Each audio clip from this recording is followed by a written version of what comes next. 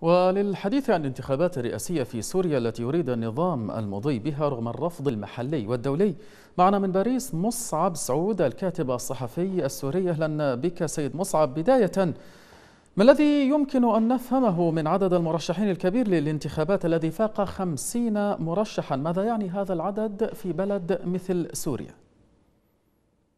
بداية مساء الخير لكم وللسادة المشاهدين لقناة الرافدين أهلا بك.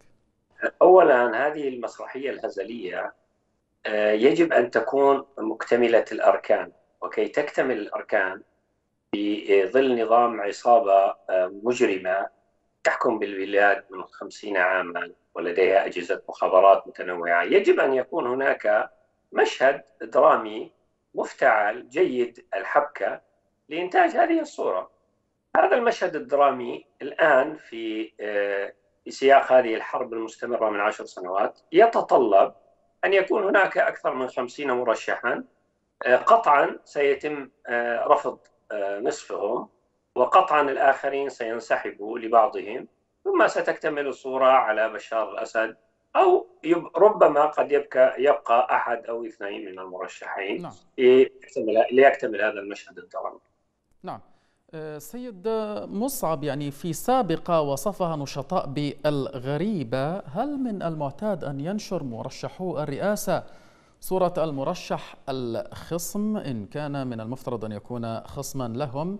والإشارة هنا لبشار الأسد وقد وجدت الكثير من المنشورات التي نشرها من يفترض أنهم مرشحون وإلى جانب صورهم صورة ل رئيس نظام الأسد بشار هل هذا أمر طبيعي؟ يعني هو هذا سؤال مرتبط بالسؤال الذي سبقه سبق أجبت عليه أن هذا المشهد الدرامي هذه الحبكة التي يريدون تصويرها على أنها حقيقة واقعة في سوريا في سوريا المدمرة منذ منذ عشر سنوات في نعم. سوريا المنكوبة المسلوبة لا يمكن أن تكتمل إلا بذلك وأبلغ أبلغ إجابة ما تفضلت لكن لماذا لماذذا يصر النظام على المضي بهذه الانتخابات برأيك؟ الأمر هنا مختلف، لماذا يصر؟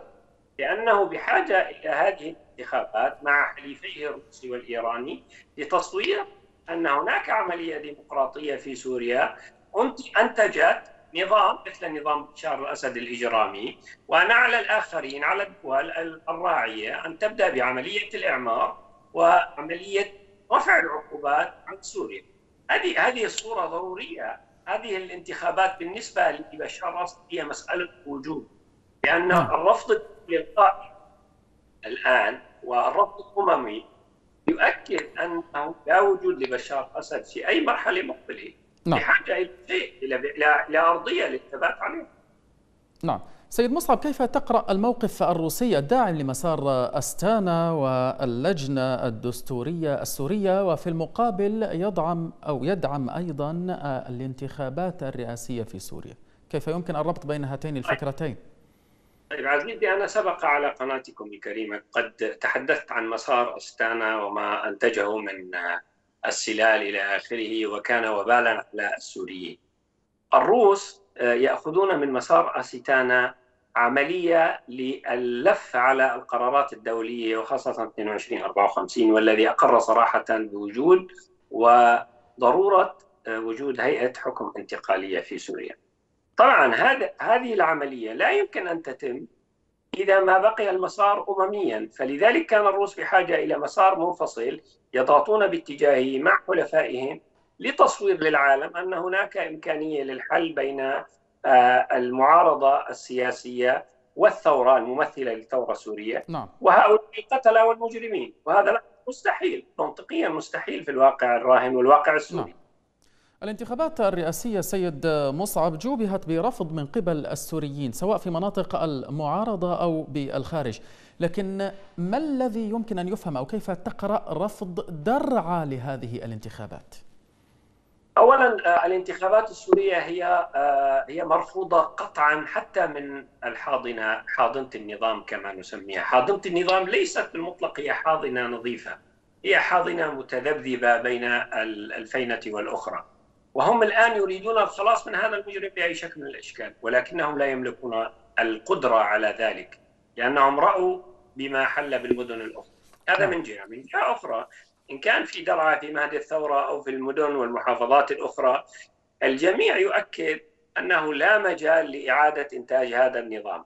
نعم. هذا ينس هذا ينساق بنفس السياق مع ما نقوم فيه في الخارج من حملات كنا قد حمل كنا قد أقمنا حملة وسبق أن تحدثت عليها في المرحلة الأولى آه، عن موضوع آه، آه، لا شرعية للأسد وانتخاباته والآن في هذه الأثناء ونحن معكم لدينا اجتماع على جنب على موازي له يتضمن المرحلة الثانية من هذه الحملة والتي ستترافق بزخم أكبر بوقفات واعتصامات أمام سفرات القتلى والسفارات الدولية للضغط عليها نعم. والتي ستترافق أيضا بمظاهرات ووقفات في الداخل السوري واعتصامات إلى ذلك للضغط على هذه نعم. الدول تاكيد انه لا مجال لإعادة شرعية هذا المجرم القاتل ولا نعم. لعصابة سيد مصعب إلى جانب هذه الآليات التي جئت على ذكرها لمجابهة الانتخابات الرئاسية التي وصفتها بالمهزلة ماذا عن الآليات الأخرى التي يمكن أن يلجأ إليها السوريون ويعتمدوا عليها من أجل